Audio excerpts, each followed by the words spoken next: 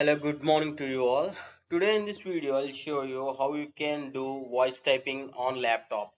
So this is on my laptop and we usually use voice typing on our mobile phones by using Gboard or on WhatsApp there is voice typing option so that whatever we speak uh, that will be turned into text. So I'll show you first the example then I'll show you.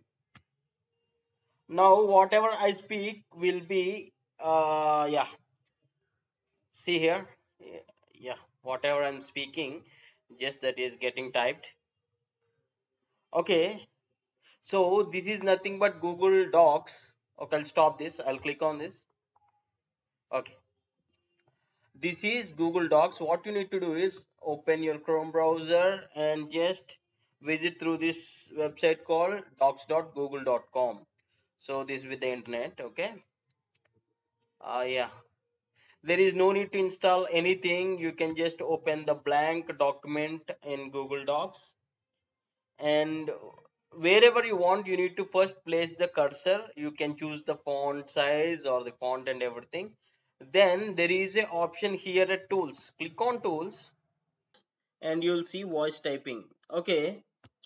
Uh, see this is in Arial and the font size is 11 when you click on voice typing a symbol will be appeared here. You need to tap on this then speak.